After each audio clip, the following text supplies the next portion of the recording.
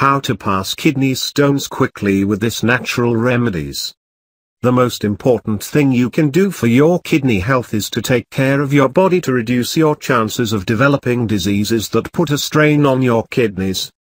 To prevent kidney stones, you need to know what caused your kidney stone. It is a solid piece of material that forms in a kidney when substances that are normally found in the urine become highly concentrated. Kidney stones are caused by high levels of calcium, oxalate, and phosphorus in the urine. The best way of preventing kidney stones is to make sure you drink plenty of water each day to avoid becoming dehydrated. It is very important to keep your urine diluted to avoid waste products forming into kidney stones. So, what is the best way to treat and get rid of kidney stones? Add lemon to your water. This is a natural treatment that conventional nephrologists have gotten right. While lemon water is often touted as a cleansing or alkalizing drink, the main reason it is helpful in reducing stone formation is its citric acid content. Citric acid inhibits stone formation and breaks up small stones that are beginning to form.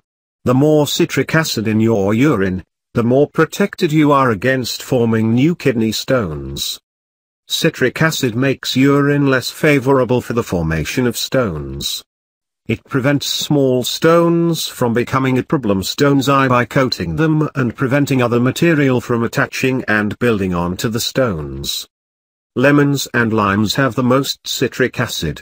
Pharmacological doses of citric acid, prescribed as potassium citrate, are effective in the treatment of stones. However, treatment may be costly and require as many as 12 tablets daily.